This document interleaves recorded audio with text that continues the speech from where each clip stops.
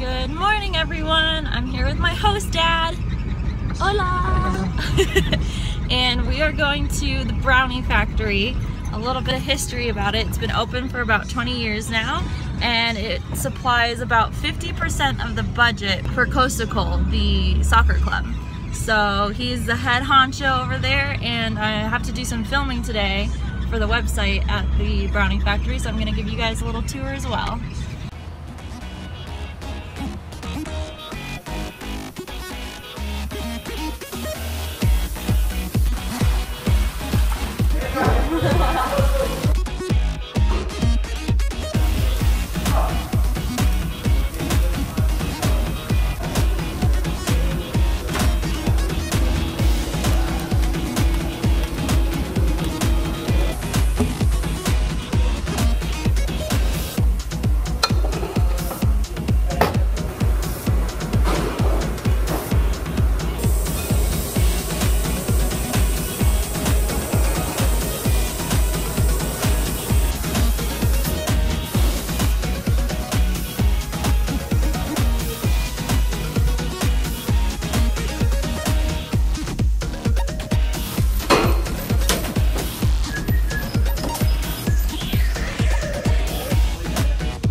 Okay.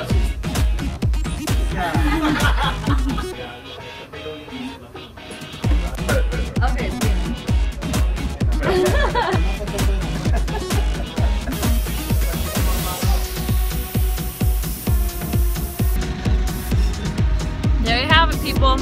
Tour of the Brownie Factory. Delicious.